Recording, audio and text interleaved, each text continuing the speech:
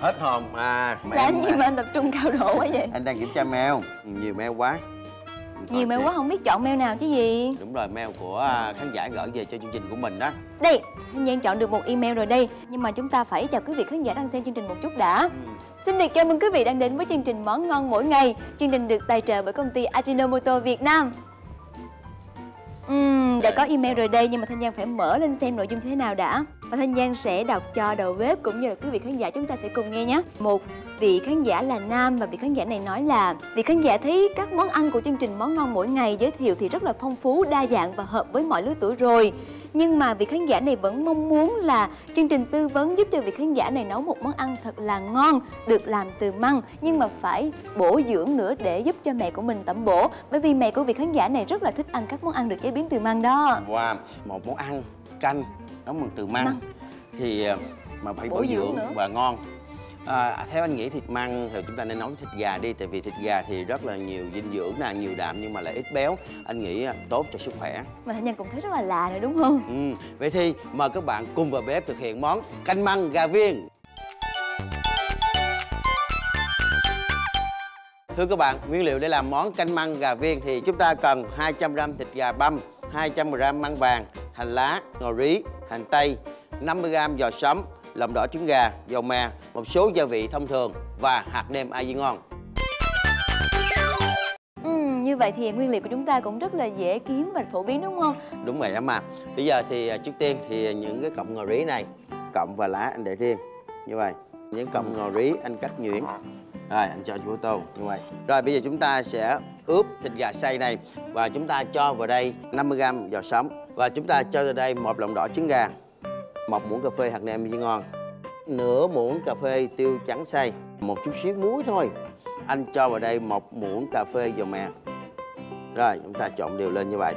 Sau khi chúng ta đã trộn đều tất cả gia vị trong thịt gà băm này, thì một điều nữa để cho thịt gà chúng ta được dẻo và dễ bao viên, thì chúng ta nên cất hỗn hợp thịt gà này vào trong tủ lạnh một ít phút quý vị khán giả ơi, như vậy là sau khi mà chúng ta trộn đều gia vị với thịt gà và giò sống thì chúng ta sẽ cất trong tủ lạnh ít phút để cho thịt gà chúng ta dẻo và dễ bao viên hơn. Đây là măng luộc, chúng ta mua về chúng ta cũng nên trần qua nước sôi ít phút để cho măng không còn vị đắng cũng như là măng bớt cái vị chua.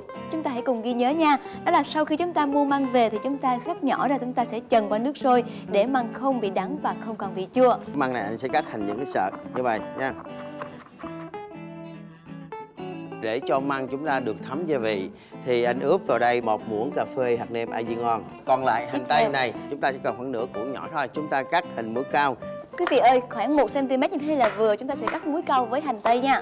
Rồi. Thanh nhân nghĩ là lúc nãy giờ thì có lẽ là gà của chúng ta cũng đã đạt được độ dẻo để dễ vào viên rồi anh thanh nhân đi lấy anh nha. Uhm, xem này. Rồi hành lá chúng ta cắt khúc dài khoảng 2 cm là vừa như vậy vậy là tất cả nguyên liệu chúng ta đã sẵn sàng rồi. Bây giờ thì chúng ta sẽ vo viên thịt gà đúng không anh? Ừ, chưa em à, bây giờ chúng ta sẽ bắt lên bếp một cái nồi và chúng ta sẽ nấu canh ngay luôn.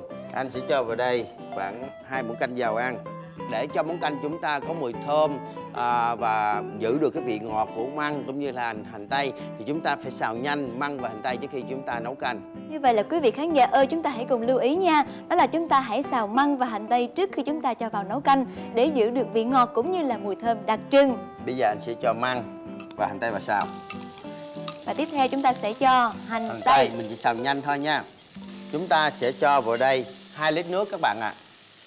Như vậy là với khẩu phần dành cho 4 người ăn thì chúng ta sẽ cần 2 lít nước cho món canh măng gà viên này quý vị nhé. Sau khi nước sôi rồi thì bây giờ chúng ta sẽ vo viên à, thịt gà chúng ta thả vào trong nồi nước canh. Thanh Giang à, em có thể làm được cái này không? Thanh Giang thấy cũng không khó lắm, chúng ta chỉ cần cho thịt vào lòng bàn tay rồi, rồi chúng ta sẽ làm gọn lại chúng ta dùng muỗng múc thôi đúng không anh? Đúng rồi, rất là đơn giản. Rồi chúng ta cho viên gà cuối cùng vào. Rồi, bây giờ chúng ta sẽ nêm nếm gia vị các bạn à. Chúng ta cho khoảng nửa muỗng cà phê đường một muỗng cà phê muối. Chúng ta cho đây một muỗng canh hạt nêm ai ngon. Sau khi chúng ta tắt lửa thì chúng ta cho vào đây một muỗng canh nước mắm. Rồi anh sẽ múc canh này ra tô nha. Như vậy.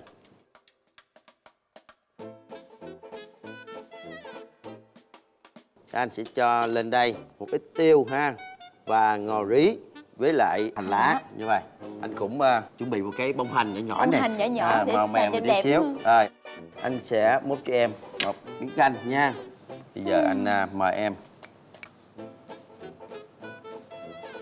Ừm. có nóng lắm không vừa ăn ừ, bây giờ sẽ là phần nước canh nè Ừm.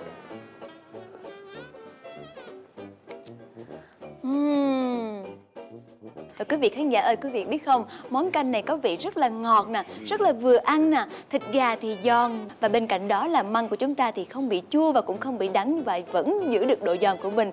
Có thể nói là một món canh rất là ngon và rất là tuyệt vời, không thể chê vào đâu được.